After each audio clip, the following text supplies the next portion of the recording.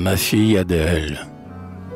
Tout enfant, tu dormais près de moi, rose et fraîche, comme un petit Jésus assoupi dans sa crèche. Ton pur sommeil était si calme et si charmant que tu n'entendais pas l'oiseau chanter dans l'ombre. Moi, pensif, j'aspirais toute la douceur sombre du mystérieux firmament. Et j'écoutais voler sur ta tête les anges, et je te regardais dormir, et sur tes langes, j'effeuillais des jasmins et des œillets sans bruit. Et je priais, veillant sur tes paupières closes, et mes yeux se mouillaient de pleurs, songeant aux choses qui nous attendent dans la nuit. Un jour, mon tour viendra de dormir, et ma couche, faite d'ombre, sera si morne et si farouche que je n'entendrai pas non plus chanter l'oiseau.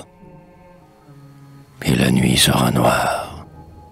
Alors, ma colombe, larmes, prières et fleurs, tu rendras ma tombe ce que j'ai fait.